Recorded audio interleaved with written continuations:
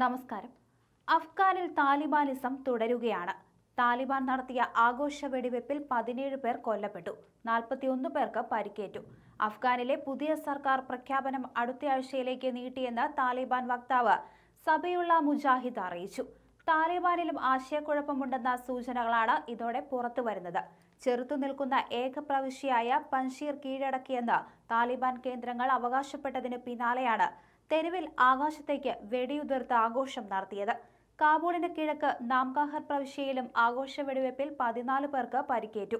പൻഷീറിലെ പ്രതിരോധത്തിന് നേതൃത്വം നൽകുന്ന പ്രതിപക്ഷ സഖ്യ നേതാക്കൾ താലിബാന്റെ അവകാശവാദം തള്ളി രംഗത്തെത്തുകയും ചെയ്തിരുന്നു.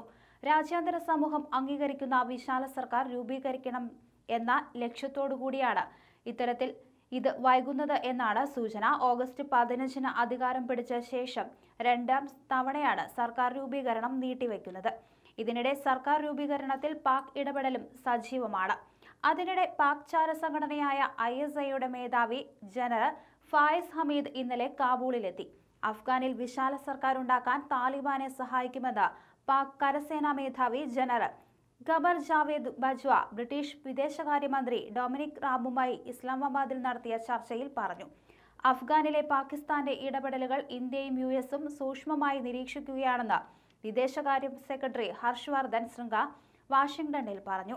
അഫ്ഗാനിസ്ഥാനിൽ താലിബാൻ സർക്കാർ അധികാരത്തിലെത്തുമ്പോൾ മേഖലയിൽ പാകിസ്ഥാന്റെ സ്ഥാനം എന്താകുമെന്നാണ് ലോകരാഷ്ട്രങ്ങൾ ഉറ്റുനോക്കുന്നത്.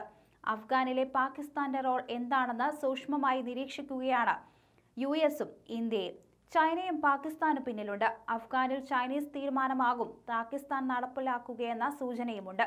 അഫ്ഗാനിലെ ഭക്ഷ്യക്ഷാമം നേരിടാൻ രാജ്യാന്തര സഹായം തേടി ഐക്യരാഷ്ട്ര സെക്രട്ടറി ജനറൽ അന്റോണിയോ ഗുട്ടറസ് ഈ മാസം പതിമൂന്നിന് ജനീവയിൽ മന്ത്രിതല സമ്മേളനം വിളിച്ചിട്ടുണ്ട്.